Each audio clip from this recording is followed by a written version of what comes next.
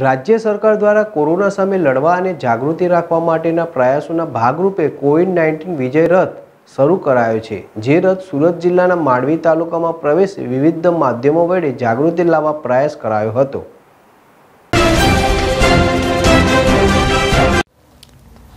રાજ્યમાં કોરોનાનો કહેર બેકાબૂ બની રહ્યો છે ત્યારે બીજી બાજુ કોરોનાને કઈ રીતે માત આપી શકાય અને લોકો દ્વારા સુસાવચેતી રાખવામાં આવે તે માટે નવતર પ્રયોગ હાથ ધરાયો છે.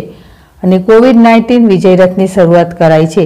આ રથ સુરત જિલ્લામાં માંડવી તાલુકામાં પ્રવેશ્યો હતો, જ્યાં આરોગ્ય કચેરી ગાંધીનગર વાર રથમાં વિવિધ કલાકારોની મદદ વડે નાટકીય રીતે સમજ આપી જાગૃતિ લાવવા પ્રયાસ કરાયો હતો. તેમજ કોરોનાની સાવચેત રહેવા કેવા પગલાં ભરવા જોઈએ, તેના વિશે માહિતી આપી હતી. સુરત શહેરની સાથે જિલ્લામાં પણ કોરોનાના કેસોમાં ચિંતાજનક વધારો થઈ રહ્યો છે, જેમાં કોઈ પણ બાકાત રહ્યું નથી. વિજયરથ દ્વારા જે તે વિસ્તારમાં સંક્રમિત થયેલા અને સ્વસ્થ થયેલા વ્યક્તિઓને પણ સામેલ કરાઈ રહ્યા છે અને માંડવી સ્થિતિ એક તબીબ પરિવારની અને એમબીબીએસ વિદ્યાર્થીની પણ કોરોનામાં સપડાઈ હતી. હાલ સ્વસ્થ થઈ ઘરે આવી ગયા હતા. જેથી કોરોના દરમિયાન તેમના શું અનુભવો હતા? કોવિડ નાઇન્ટીન વિજયરથની વાત કરીએ તો આજે સુરત જિલ્લાના ખોડોદ તેમજ માંડવી તાલુકાના સઠવાવ રૂપણ માંડવીનગર સહિતના ગામોમાં ફર્યો હતો. ધર્મેશ પટેલ જેડેશ ટીવી માંડવી. માંગુ છું કે હું પણ એક એક ટાઈમમાં કોરોનાથી સંકળાયેલી હતી. લાઈક મને બી થયેલો હતો કોરોના.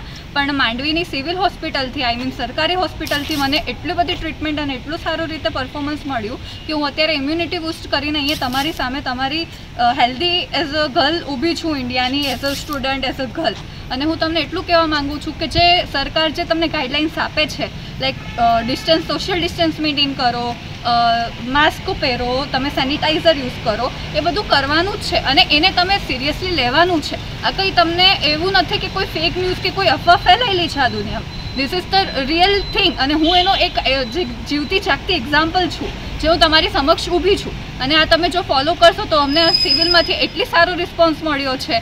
એ લોકો એટલી કેર લીધી છે. રોજ કોલ્સ આવતા હતા કે તમને કેવું છે, કેવું નહીં. તમને હજી ખાંસી છે, તમે કાઢો પીવો છો, તમે આવું કરો છો.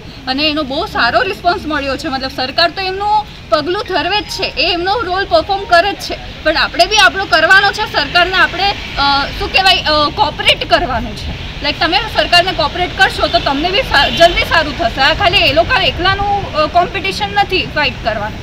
આપણે બી એટલું જ ફાઇટ કરવું પડશે. અને તો જ તમને પછી આપણે આ બધા સાથે મળીને કરશું તો આપણે આ કોરોનાને જલ્દી ઇવેક્યુએટ કરી શકશું આ દુનિયામાંથી.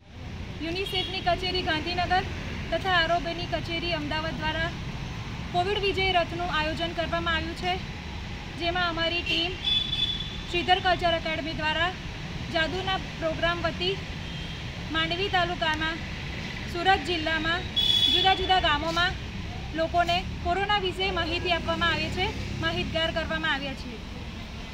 અમે પ્રોગ્રામ દ્વારા એ જ જણાવવા માંગીએ છીએ કે માણસે કેવી રીતના તકેદારી રાખવી જોઈએ, માસ્ક પહેરવું જોઈએ, જો ઘરની બહાર જાય છે, તો સેનિટાઈઝરનો ઉપયોગ કરવો જોઈએ, ઘરે આવે છે, તો હાથ પગ ચોખ્ખા રાખવા જોઈએ, સાબુ તથા સેનિ સાબુ તથા ફેસ સાબુ તથા હેન્ડવોશનો ઉપયોગ કરીને વ્યવસ્થિત રીતે સ્વચ્છતા જાળવવી જોઈએ. જેનાથી આપણે પોતે પણ બચી શકીએ છીએ અને પોતાના પરિવારજનોને પણ બચાવી શકીએ છીએ.